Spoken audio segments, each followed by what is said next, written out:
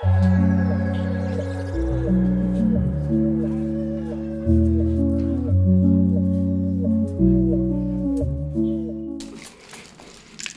salut les scorpions. Bon, il n'y a plus d'autres déblocages, ok. Euh, j'en prendrai une autre, c'est peut-être un signe. Alors, on va voir ce qu'on a pour vous pour la semaine du 23 au 29, en sachant qu'on va avoir euh, une pleine lune le 28 qui sera sous le signe du taureau.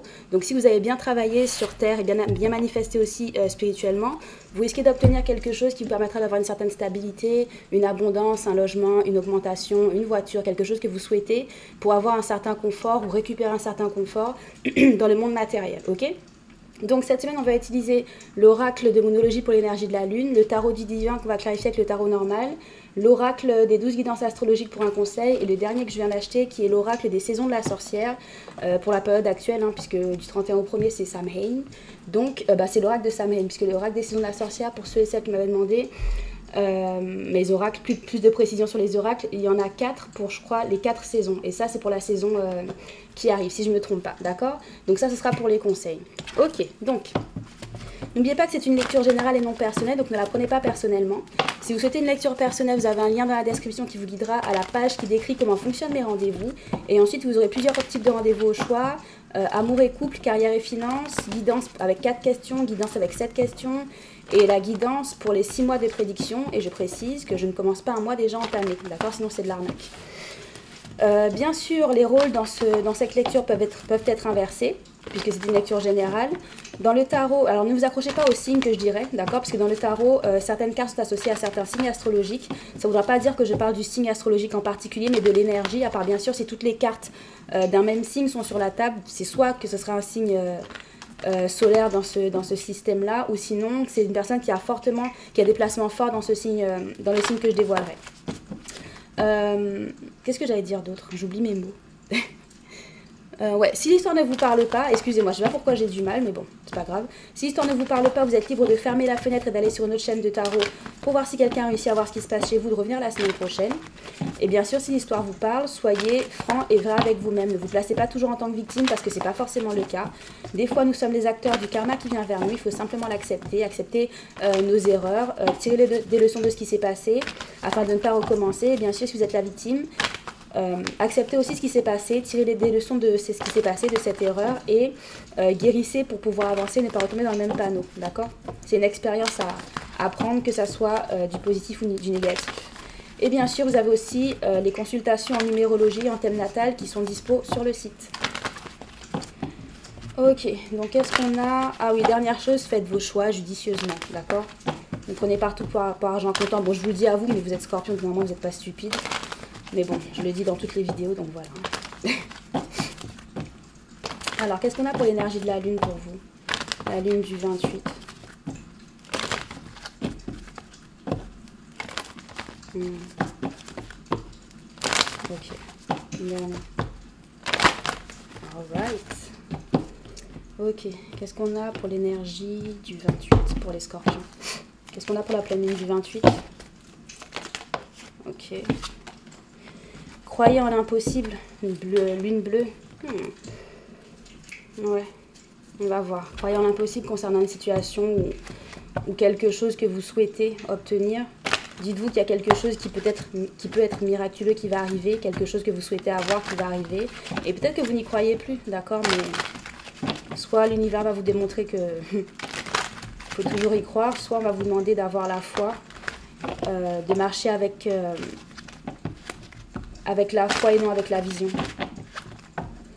Mais peu importe ce que vous souhaitez, croyez en l'impossible, bien sûr, si vous avez fait le, boulot nécessaire, d'accord? Qu'est-ce qu'on a pour la semaine du 23 au 29 pour les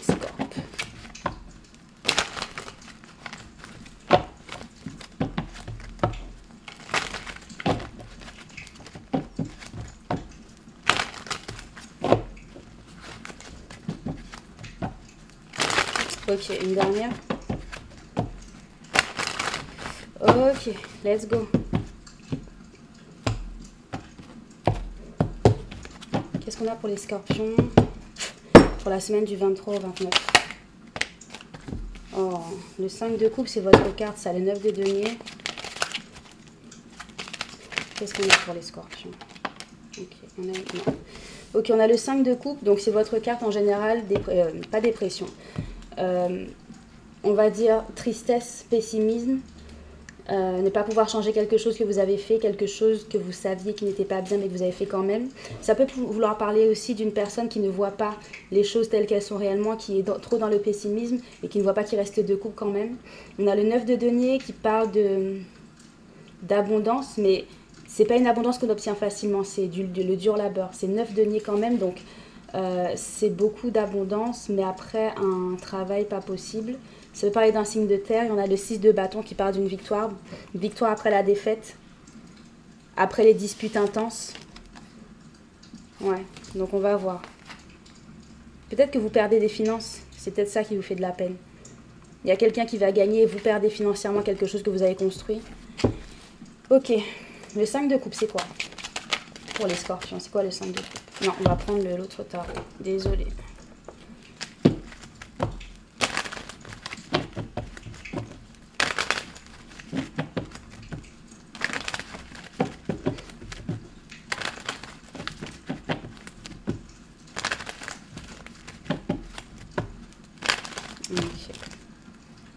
quelque chose que vous devez abandonner. Il y a quelque chose que vous avez, une chose, soit ça vous a touché beaucoup au niveau des émotions, vous avez beaucoup investi, ou c'est quelque chose qui, une chose qui vous touche émotionnellement, qui n'a rien à voir avec une relation, mais qui, va falloir que vous abandonniez, ça vous fait peut-être de la peine? Parce que vous abandonnez avec regret ou autre, c'est peut-être pour ça qu'il y a le nuage noir au-dessus euh, de votre tête. Ok, qu'est-ce qu'on a pour la semaine euh, du 23 au 29 avec le 5 de coupe pour les scorpions Qu'est-ce qu'on a pour le 5 de coupe? Valet de denier. Oh mon dieu, 5 de coupe plus 5 de coupe. What the fuck? Ok. Alors, on a le valet de denier qui parle en général d'une bonne nouvelle au niveau, des, biens matériels ou d'un début financier.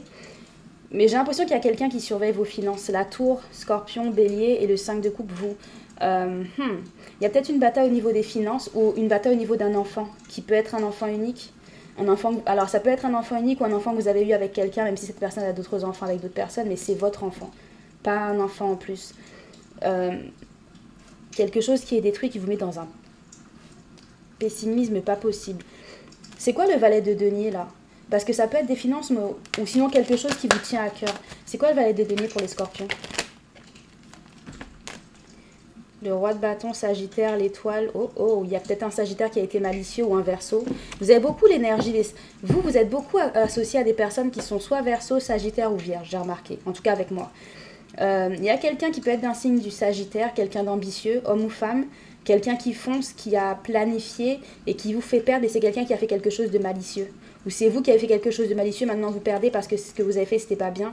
Euh, l'étoile, c'est la perte de quelque chose. Croire en l'impossible, c'est euh, l'aube après la défaite, la guérison, croire en que ouais, croire en l'impossible, croire en quelque chose qui pour vous c'est pas possible de d'y arriver. Donc c'est soit vous qui perdez énormément par rapport à quelqu'un de malicieux, soit c'est inversement.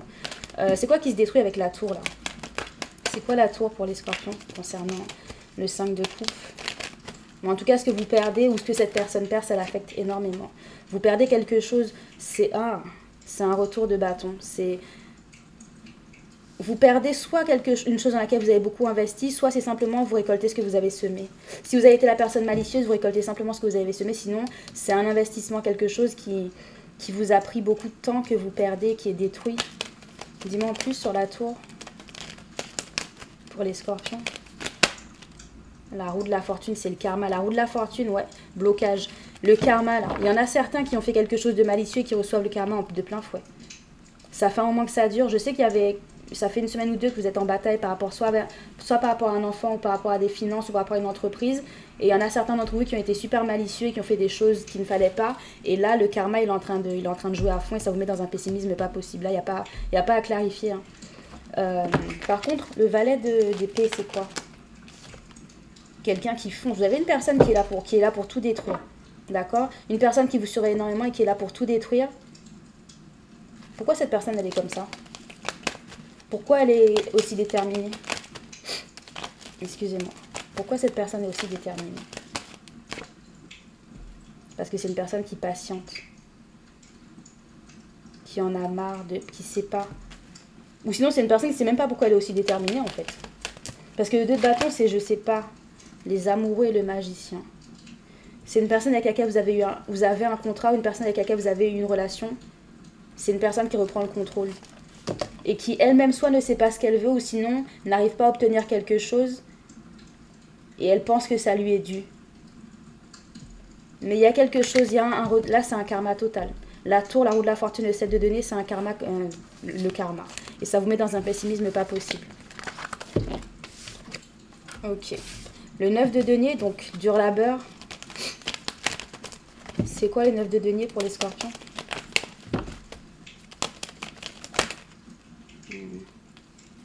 On va prendre celle qui est sortie là aussi. Oh mon dieu, what? Cette personne ne vous lâche pas, elle vous surveille comme pas possible, elle surveille vos finances comme pas possible. Ou, quelque chose que vous avez construit, ça a créé une certaine instabilité. Il y en a certains qui ont construit quelque chose, une entreprise ou quelque chose qui vous rapporte énormément financièrement, une certaine stabilité, et ça va, ça va être détruit, vous allez avoir beaucoup, une, instabilité, mais ça c'est le karma. C'est quelque chose qui, est cher pour vous, quelque chose que vous chérissez et c'est pris. Punaise. Et cette personne vous surveille comme pas possible. Parle-moi du... Ok. Ça peut être un bélier ou simplement une personne plus âgée que vous, quelqu'un qui a beaucoup d'expérience, quelqu'un que vous connaissez depuis longtemps.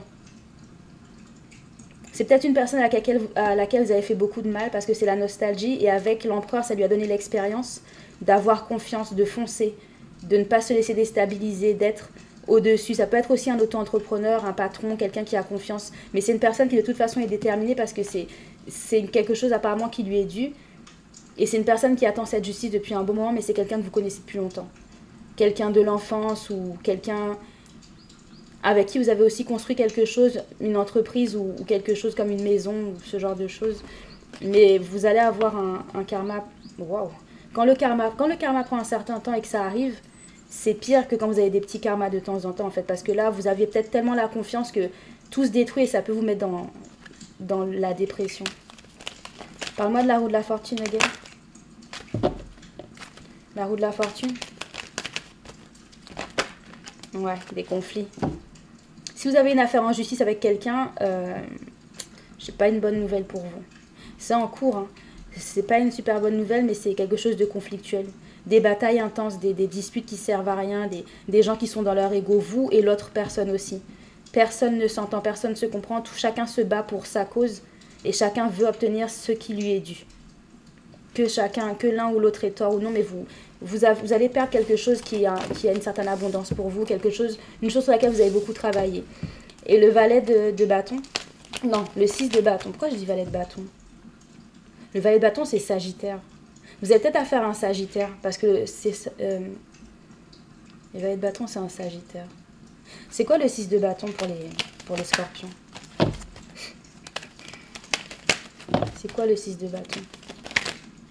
Euh, Oups sais pas quoi faire de tout ça. On va garder le diable parce que ça s'est dévoilé en premier. Le 6 de bâton.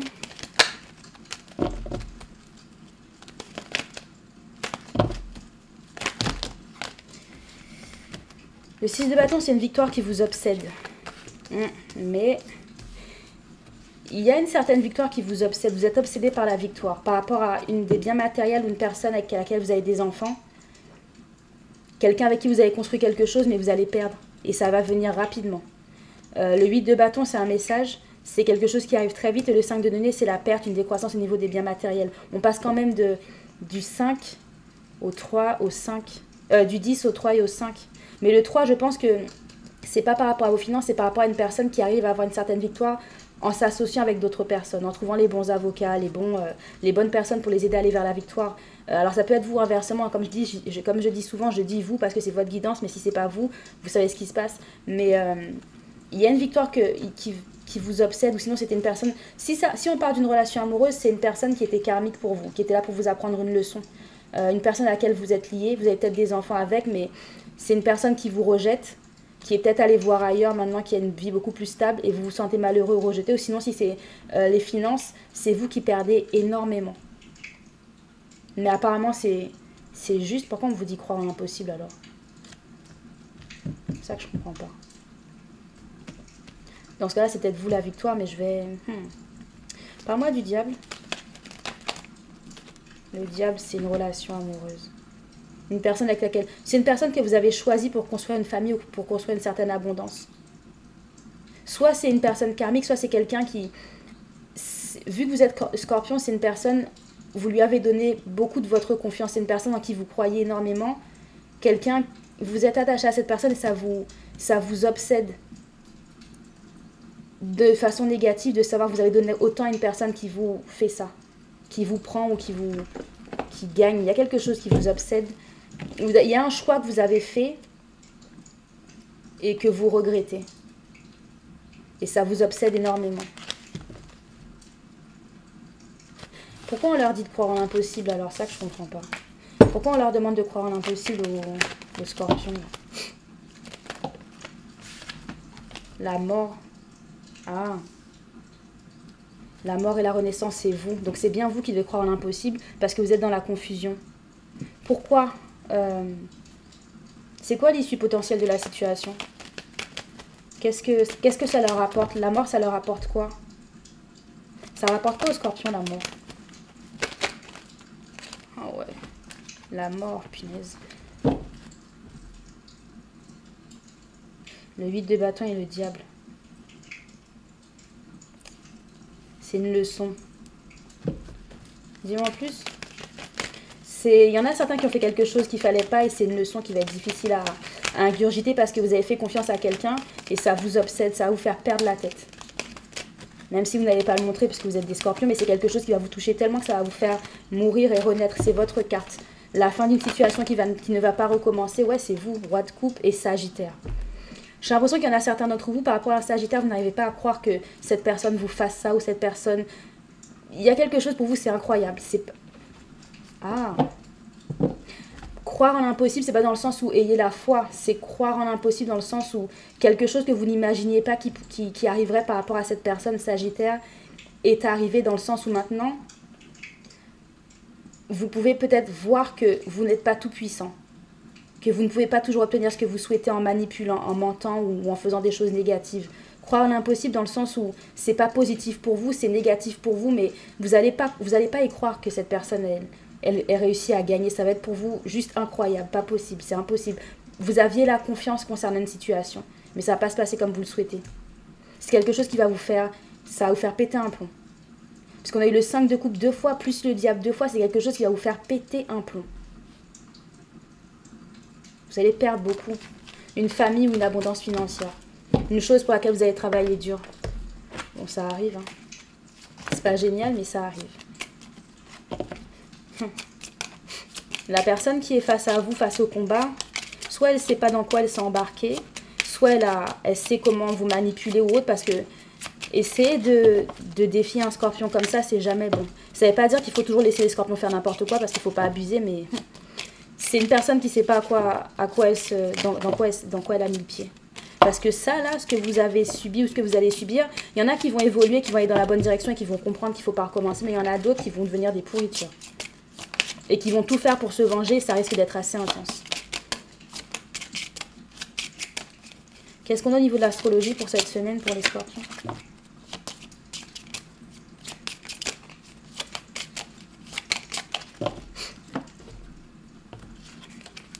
Mars en Gémeaux. Mars, c'est la planète de la guerre, c'est la planète des défis.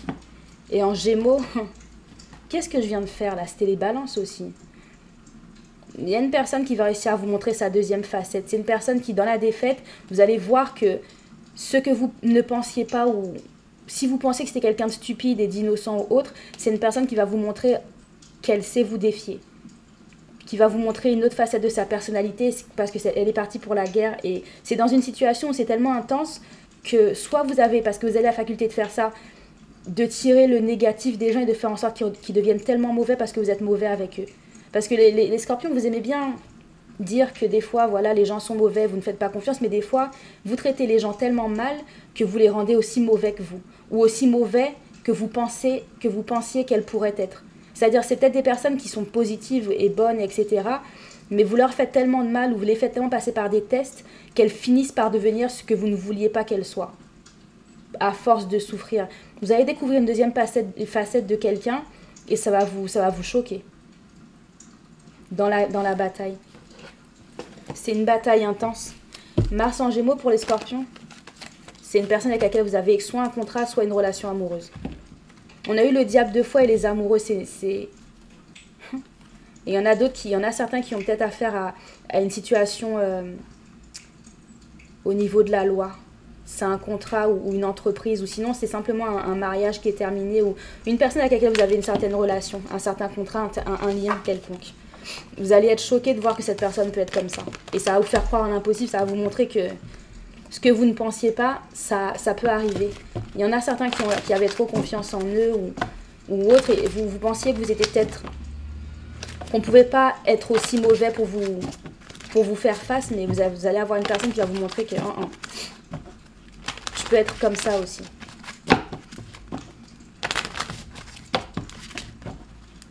Après, ça peut être inversement, ça peut être vous euh, qui faites ça. Qu'est-ce qu'on a au niveau de, des saisons de la sorcière pour les scorpions?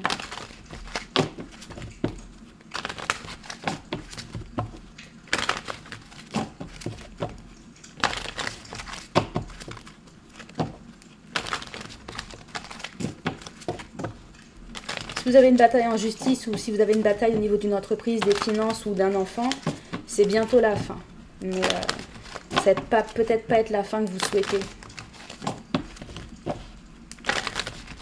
Ok, qu'est-ce qu'on a pour les scorpions?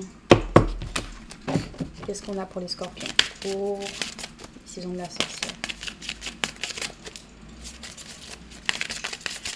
Qu'est-ce qu'on a pour les scorpions?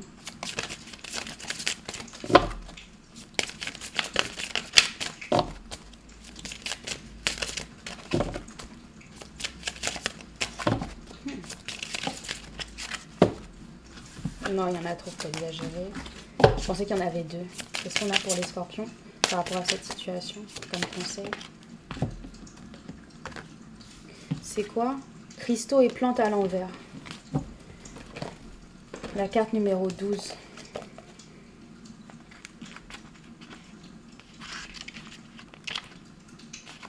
Ok. Donc les mots-clés de la, carte euh, cristaux et plantes, c'est médecine de la terre et guérison. Ah, quel remède, quel savoir sacré, un brin de guérison offert par terre-mère. Et à l'envers, ok. Vous devez permettre à la, euh, à la guérison de s'opérer. Il est facile de vouloir aller mieux, mais plus difficile d'agir dans ce but. Contrairement à ce que l'on pense, la guérison est rarement une expérience réconfortante et lumineuse. Il faut parfois qu'une situation empire avant de s'améliorer, comme lorsque l'on fait une détox. Au début, on se sent mal, faible et fatigué, mais après quelques jours, on se sent bien mieux. Ne laissez pas un petit inconfort devenir un blocage qui entraverait votre guérison. Acceptez la douleur est la seule façon de vous en défaire. Et ça, vous connaissez la douleur, hein, les scorpions. Malheureusement, vous êtes le signe qui, qui souffre le plus.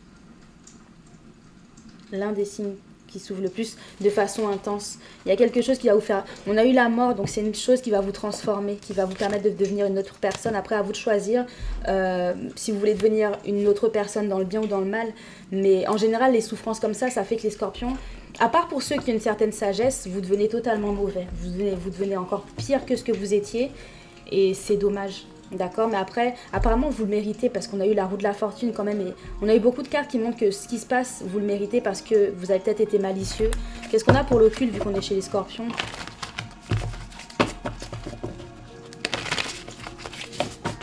Acceptez la douleur pour évoluer, ok? Arrêtez de lutter contre. Ça va vous faire mal.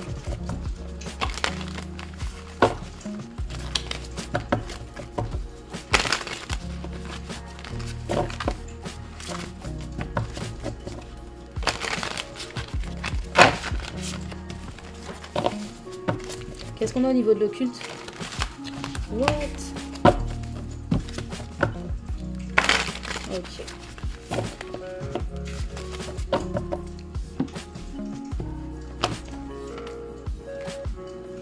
L'as de bâton. Dévoile les secrets sacrés, enseigne la fabrication des armes. Oh mon dieu. Il y en a certains qui vont se préparer. Il y a certains scorpions qui vont vouloir se venger et qui étudient très clairement comment le faire.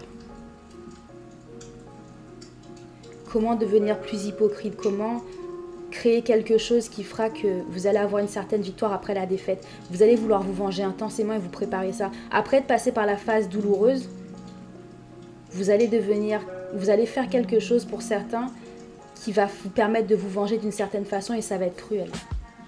Et il y en a d'autres qui vont accepter d'aller dans la bonne direction. Euh, bon, bah les scorpions, c'est ce que j'ai pour vous pour la semaine du 23 au 29. Je vous souhaite donc une bonne semaine. Soyez prudents, faites pas de choses stupides, d'accord euh, Attention, d'accord Parce que vous avez beaucoup le karma qui est dans votre, dans votre énergie. Donc faites attention pour ne pas empirer la situation, ok Je vous souhaite une bonne semaine, une bonne pleine lune et je vous dis à la semaine prochaine. Bye N'oubliez pas que vous pouvez vous procurer tout ce dont vous avez besoin au niveau ésotérique sur le site internet comme la pluie de déblocage et la lotion de désensorcellement qui sont des lotions magiques d'influence euh, qui peuvent remplacer merveilleusement l'encens. La pluie de déblocage est pour tout ce qui est blocage au niveau de la créativité, qui est au niveau de la procrastination et aussi la malchance. La lotion de désensorcellement, c'est pour tout ce qui est magie noire, sorcellerie, énergie négative qu'on vous envoie spirituellement. Donc ce sont des lotions magiques d'influence à parsemer avec parcimonie. Vous en mettez une pulvérisation dans chacune des pièces de votre appartement, pas plus. Euh, vous pouvez en mettre aussi dans votre voiture, sur votre lieu de travail si vous pouvez.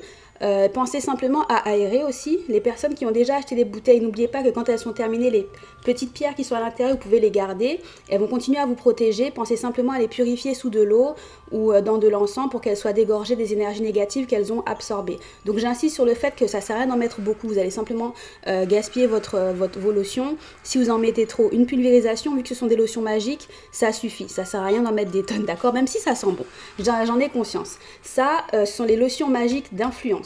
Euh, vous pouvez en mettre aussi, je sais pas si je l'ai dit, dans les chaussures et sur vos vêtements, mais par contre pas sur la peau, parce que ce ne sont pas des parfums. Vous avez aussi, comme d'habitude, la, la, bougie de retour à l'envoyeur ainsi que l'huile d'onction de retour à l'envoyeur qui vous permettent d'effectuer le rituel de retour à l'envoyeur qu'il ne faut pas avoir peur de faire. Le rituel de retour à l'envoyeur, c'est simplement faire en sorte de vous protéger en renvoyant vers la personne qui vous a envoyé de la sorcellerie ou de la magie noire. Euh, tous les rituels, les sorcelleries, les, maléfiques qu'on vous, les maléfices qu'on vous a envoyés. Si vous avez des personnes qui vous font douter ou qui font titiller votre intuition, ce n'est pas pour rien. Mettez ces personnes-là aussi dans le rituel. Si elles n'ont rien fait, il ne leur, arrivera rien. Par contre, si elles ont fait quelque chose, elles recevront simplement ce qu'elles vous ont souhaité. Il y a la notice qui vient avec la bougie de retour à l'envoyeur. Vous avez aussi l'huile d'onction qui est vendue séparément, euh, qui va vous durer entre 6 à 10 mois. Pourquoi? Parce qu'un rituel de retour à l'envoyeur, on en fait en général une fois par mois, pas plus. Et vous avez aussi un compte-goutte qui vous aide à doser. Vous mettez une à trois gouttes, pas plus, et c'est suffisant.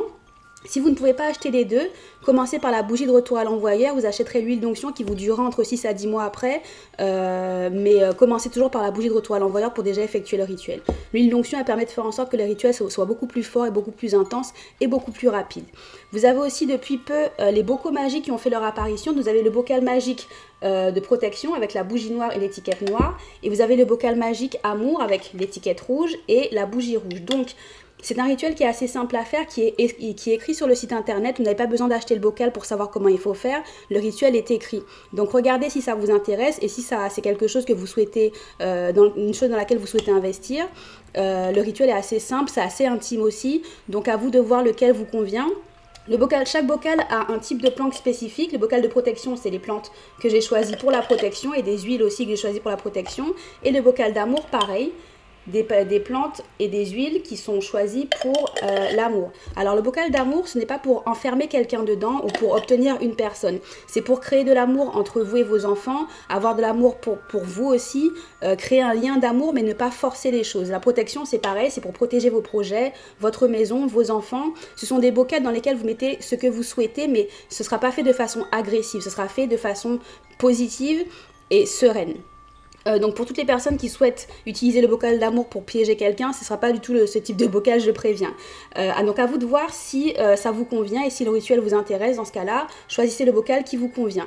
Vous avez aussi depuis peu l'encens intense purification qui, est, qui fait à peu près 12 à 15 grammes. C'est un encens pour chasser les démons. C'est un encens qui est fort en odeur, donc ne vous attendez pas à avoir un encens qui sent super bon.